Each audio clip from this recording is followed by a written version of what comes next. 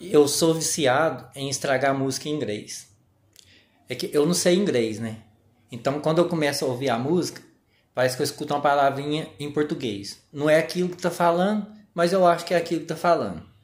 Tudo começou assim, ó, quando eu ouvi essa música aqui, ó.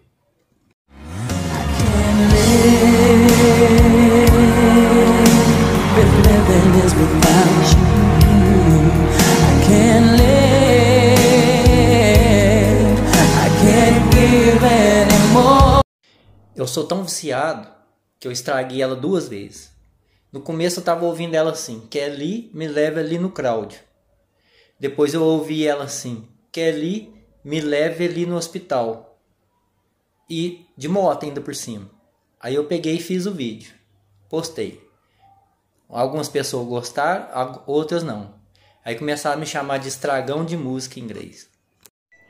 E é tudo assim. Eu pego a folha sulfite, começo a ouvir a música, já escrevo ali na, na folha sulfite ali, aquilo que eu estou escutando, que não é o que está falando. Já coloco ali no papel e já pego meu celular e já vou fazendo o vídeo. Pergunta quantas músicas eu já estraguei? 314 músicas.